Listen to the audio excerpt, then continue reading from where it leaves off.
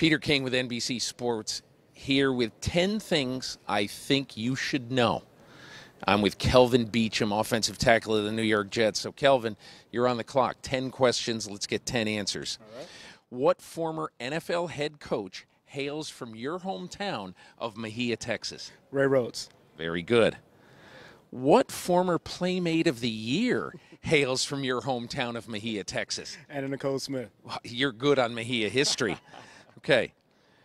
Which ice cream company was the first to sell chocolate chip cookie dough? Uh, Blue Bell. Um, Blue Bell. No, Ben and Jerry. No way. How can you not know that Ben and Jerry's? Okay. What tech company lost 119 billion dollars in value this week? oh, um, Facebook. That's correct. What new mode of delivery is Amazon considering to deliver packages in less than 30 minutes? You got Prime right now. Is it not? Is it Prime? No. Not Prime. What's the next one? Drones. Oh. wow. And you're a drone guy. But they, they hadn't they hadn't activated it yet. no, they, been- haven't. they've been I said they're about it. considering. Considering it. Okay. considering it. All right. Listen, you should have got that one. I shoulda got it. Yeah. All right. What ingredient in bread causes it to rise?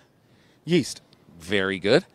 What food is hummus made from? Uh, chickpeas. Jeez, you're good. You're hard to stump. Your head coach, Todd Bowles, won a Super Bowl with what team? Washington Redskins. Wow. Who's the quarterback who led the Jets to their only Super Bowl win? Joe Namath. What is the most populous city in the world with over 35 million people? New York. No, Tokyo. You got eight of 10, but I want to tell you, you beat Eric Weddle. No way. Yeah, He's Eric Weddle only had six and a half. Six and a half. I got you. Yeah. Congratulations. Thanks for playing. Thank you. Anytime. From the Jets camp with Kelvin Beachum, I'm Peter King.